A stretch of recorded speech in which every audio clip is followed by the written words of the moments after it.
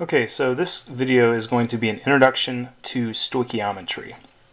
So uh, why not start with the definition?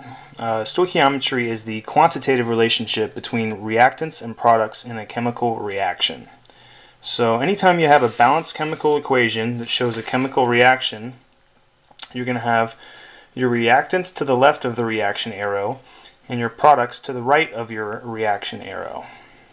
So I've chosen a random reaction uh, to sort of define some terms here. And the reaction that I've chosen is the uh, combustion of propane, in which my reactants are C3H8, which is propane, and 5 oxygens.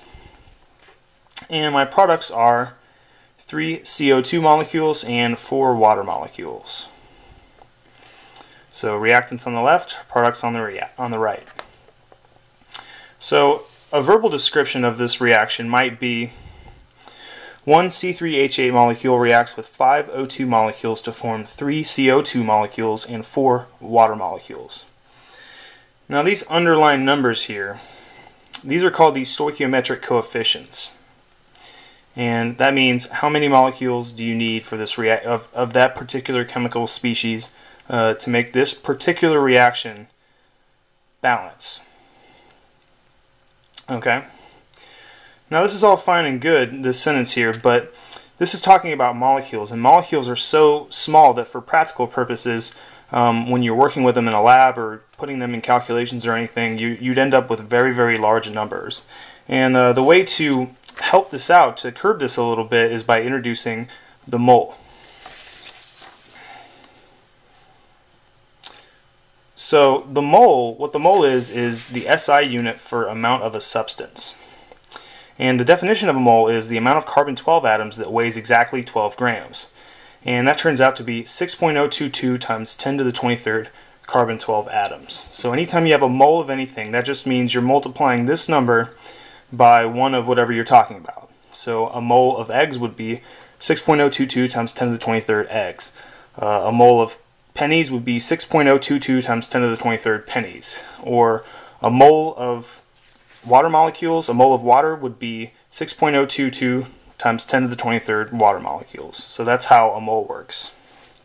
Now, to relate that back to this equation here, well, we just said that a mole is simply this large number, 6.02 6.022 times 10 to the 23rd. It's just simply a large number that we multiply by everything. So in that sense, in this sentence here, we could every time we see the word molecule, we could basically uh, replace that with mole. So we could say that one mole of C3H8 reacts with 5 moles of oxygen to form 3 moles of CO2 and 4 moles of water. And the common mistake that people make here is that moles is differ, different from mass. Uh, this equation does not say that 1 gram of propane reacts with 5 grams of oxygen. No, it says that 1 mole of propane reacts with 5 moles of oxygen. So if you are given mass, as you probably commonly will be, you must convert that mass to moles in order to use this balanced chemical equation to get what you want. And the way that you do that is by using molar mass, which is given on the periodic table. So I've chosen a problem it's going to be sort of an introductory problem to uh, maybe get started. So you can see how this all works. Let's see. My equation back up here. Okay, so this problem says, what mass of propane in grams is required to react with 5 grams, 5.0 grams of O2 in the above reaction? Okay, so the only two really the only two known values that we have are the only two things that can help us are this mass of oxygen that is given and this balanced chemical equation up here. Okay? So it says we start out with 5.0 grams of O2. But like I said, this equation does not have anything to do with grams. It only has to do with moles. So we must convert this 5.0 grams of O2 into moles using the molar mass given from the periodic table. So We're going to convert this to moles. We're going to put grams of O2 on the bottom. We're going to put moles of O2 on the top. And for every one mole of O2, there's about 32 grams. There's a couple of decimal places that I'm leaving out here, but uh, for simplicity, it's you know 32. So we've just converted the mass of oxygen into moles.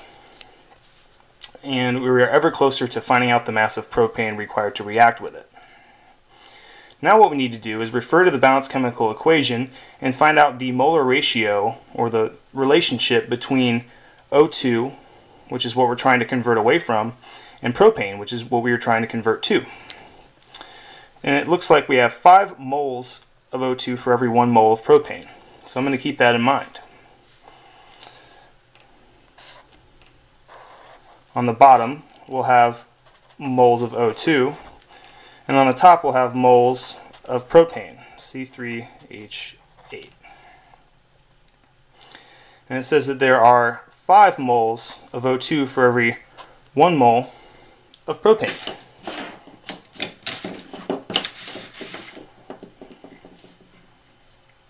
So now we have moles of propane. But it doesn't ask, the question doesn't really ask for that though. It asks for the mass of propane in grams. So we have to set up yet another uh, conversion factor. So now we have moles of propane on the bottom.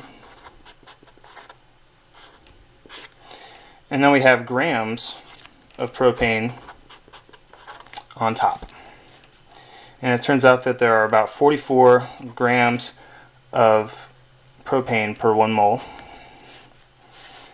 So if you make sure, always make sure to can cancel out your units, okay? Grams of O2 cancel here, moles of, moles of O2 cancel here, moles of propane cancel out here, and we're left with good old grams of propane. Okay, see how I did that?